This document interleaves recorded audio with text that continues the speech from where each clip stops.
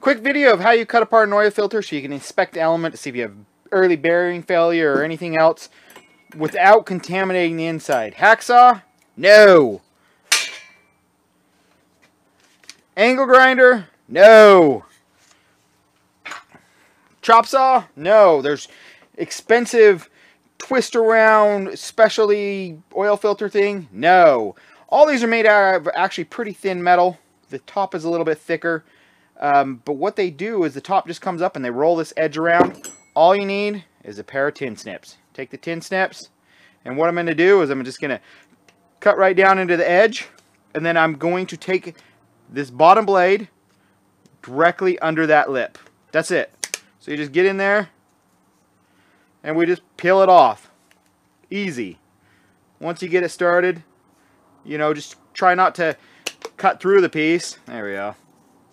And once you get it started, this is easier than opening a can.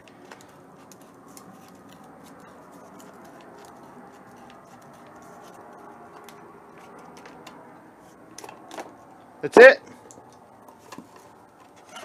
Everything now should just come right out. We've introduced no metal particles. I can look at my element, inspect everything, and you see how much oil was actually left in after I had actually drained this, left this upside down for nearly 24 hours. And then these make amazing little cups just for uh, your workbench. Thanks for watching, guys. See you soon. Bye. You got it this far. You've already inspected it. Now it's time to throw it away. So you take your cup, around a little piece of sandpaper to make the edge smooth.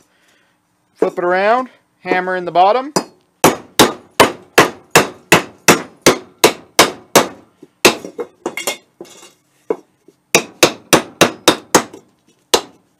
Now I got a perfect cup that sits on the counter on the workbench that I can put screwdrivers in.